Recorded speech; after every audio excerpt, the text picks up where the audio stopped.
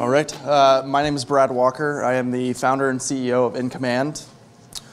Income& is, is working to solve some of the problems that led to the recent downturn, as well as some of the problems that came out of the downturn. I think one of those is really the investment opportunities available to people.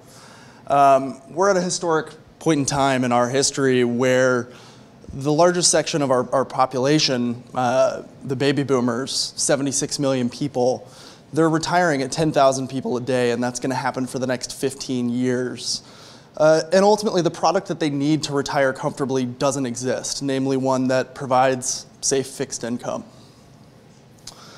There has been some really interesting innovation, and a couple of people have mentioned it. Uh, Lending Club and Prosper have been able to come out and offer a very nice yield proposition.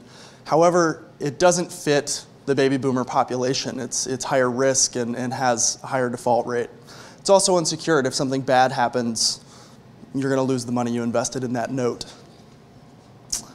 So what we've done is, is what we think is a better option. We've created the Primo, and that's a prime-rated individual mortgage-backed obligation.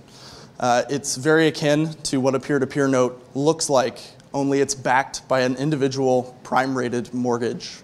So you have all of the customization and transparency, but it's a product that fits the market. Again, similarity to, to the peer-to-peer -peer market, but good returns, much more safety.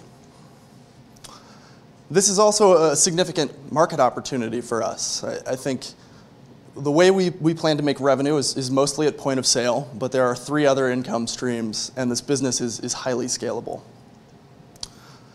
This is where we are to date. We've raised 315,000. That money has allowed us to take Primos from something that we felt was a, a cool idea to really navigate the regulatory environment. And we've gotten to the point now where all we need is the further capitalization to bring this to market to that population that desperately needs it. Thank you. I'm happy to answer any questions afterwards.